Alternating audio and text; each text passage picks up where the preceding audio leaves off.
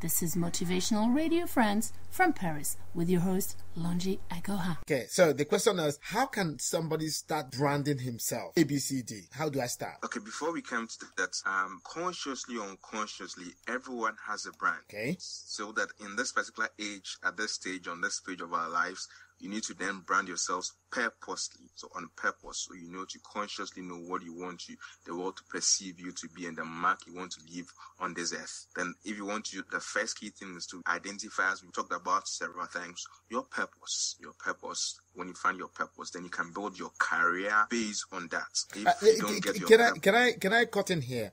Uh, it Okay. possible? Is it possible to tell a layman, somebody who, how he can find that purpose? Because I believe that that is the main problem. Because if you're able to find the purpose, then it is possible for you to to run. I mean, to start immediately. But before you start, you need to know what it is.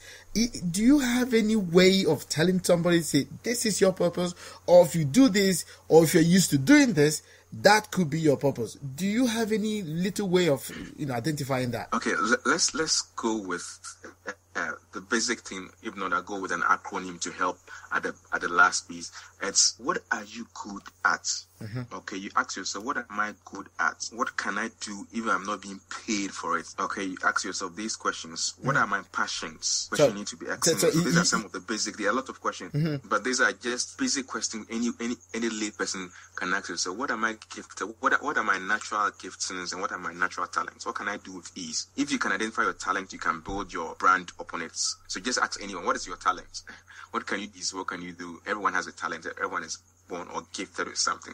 So that's the bottom line. Find out what you can do with this, what your talents are. Then you can you can then build your brand on that. So that's the, Okay. the very the very very first Right, thing. the very first thing is to really, uh, it's kind of a soul searching. You know, you need to take a ah, mirror and look ah. at yourself and say, hey, this guy in front of this mirror, who are you exactly? And then you begin to go back from maybe your childhood and begin to see, search back and say, hey, what, what did I used to do? And people tell me, oh, this is, mm. you were good at this, you were very, very good at that. Why don't you do this and all that? Mm. Maybe if you, I think if you start coming through that line, you could say, okay, maybe I used to play football very well. But then, if at the age of 30 and you used to play ball very, very well, now at the age of 30, you can't. You know, it's not very, very possible to start at the age of 30 to play football. You might have to adjust your, your purpose, right? Exactly. Um, uh, the fact that you, you, you loved playing soccer when you're growing up does not totally mean that you should become a soccer player. Okay. For all you know, it, the excitement and the fulfillment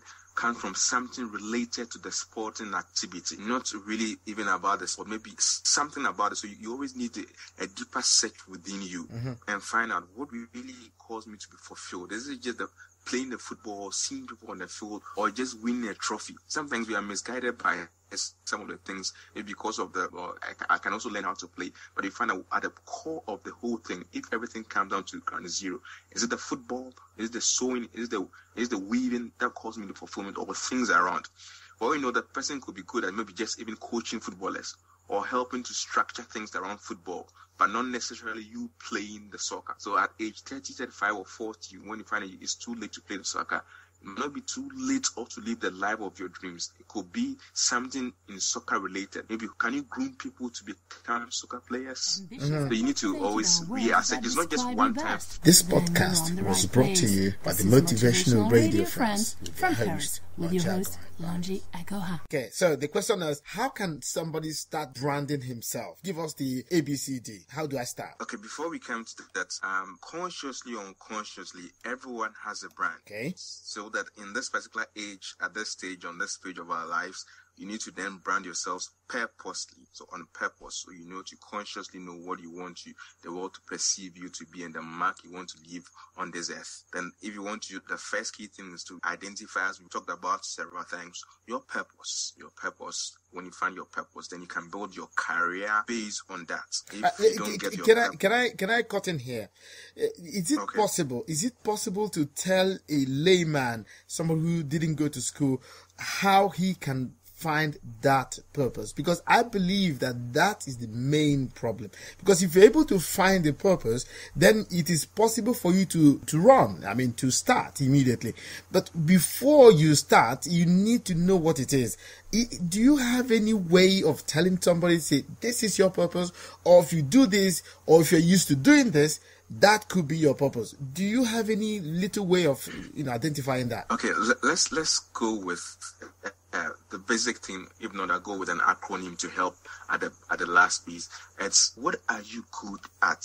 Mm-hmm. Okay, you ask yourself, what am I good at? What can I do in paid for it? Okay, you ask yourself these questions. What mm-hmm. are my passions? Which so, you need to be asking. So, so, these are some of the basic. There are a lot of questions, mm-hmm. but these are just basic questions. Any any any lay person can ask yourself. What am I gifted? What are, what are my natural gifts and what are my natural talents? What can I do with ease? If you can identify your talent, you can build your brand upon it.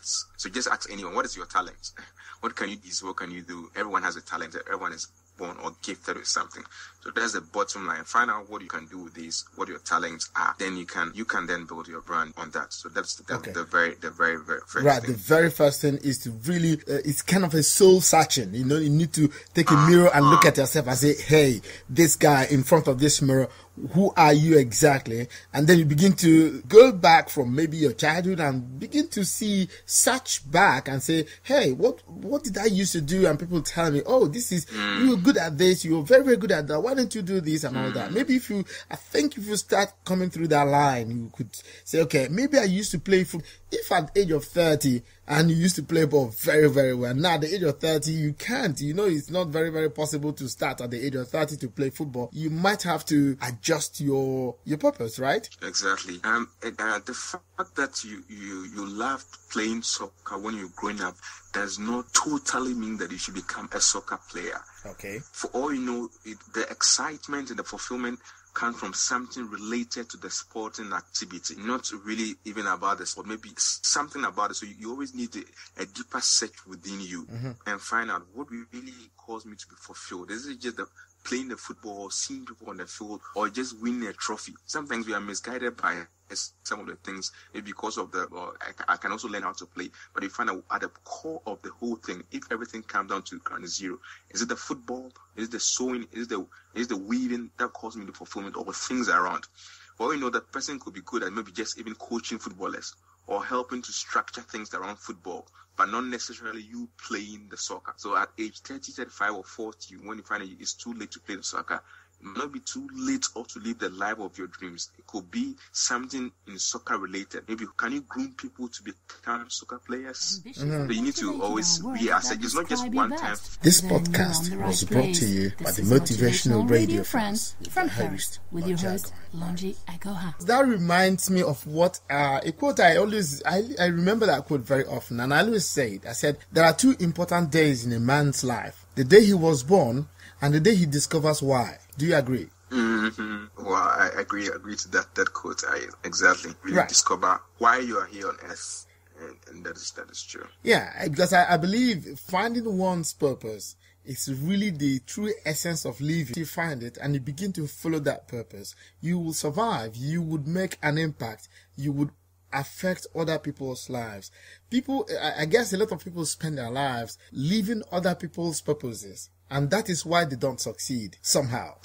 You, you've really hit the nail. It's exactly because um, most people are living in the in the images or in, in the brands, false brand of others have pursued them or the path they've, they've led them to become. And sometimes I say that some of the faults are from one mentors, coaches, and even parents and pastors and prophets because they assume they think this is the life I think you should live. Sometimes parents if they are not able to achieve certain things, they want their children to become that thing.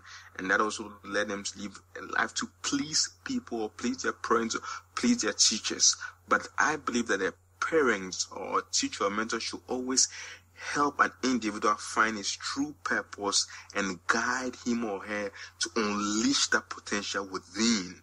And then we have a fulfilled life of every person who's living. Okay, very good. So I think we've hammered enough on this branding thing. But I would like to know if, uh, because I always like to talk to the layman on the streets, because people who have mm. read, who are intelligent, I uh, could say maybe they can find their way you know, somehow. They might ask questions. Now, let us assume that this the, the layman on the street in Ghana who doesn't or who hasn't gone to school or who's an illiterate or who is selling, how do you advise that kind of person to start branding himself, for example? Key point here is this everyone has a brand consciously or unconsciously. I always make this example locally that uh, maybe I don't know even where I find myself to be. Let's use a, a common food around bread. Mm-hmm. And uh, if I come to your locality and ask you, I want a bread, I want breads. Can you get me a bread seller in your area? Okay. The question I ask is, when you ask for maybe a local food vendor, maybe I want, I use the term, I want to watch it. Uh, everybody easily can point to me or direct, and the person selling the food might not even have a poster or even a name, but people can direct you to such a person to buy it. Why? Because the person is providing value. Good, maybe the food, the food is very good. People go even in that particular food. So that indirectly has created a brand for the, the, the seller without a name, without tagging, without name calling anything. So if you can go through your phone list now and I, I said, I need a doctor, I need a surgeon. What names in your mind quickly when those services are needed? That means that person that has become a brand for that person. If I need a plumber, can you get me someone right away without even going to Google to search or by just dialing your phone number? So then your name pops up, begin to pop up in every community you find yourself to be. That has indirectly helped you create a brand for you by virtue of what you can offer, the service you're creating, the value you're bringing to others. This podcast was brought to you by the Motivational Radio France with your host, Lonjago and Paris.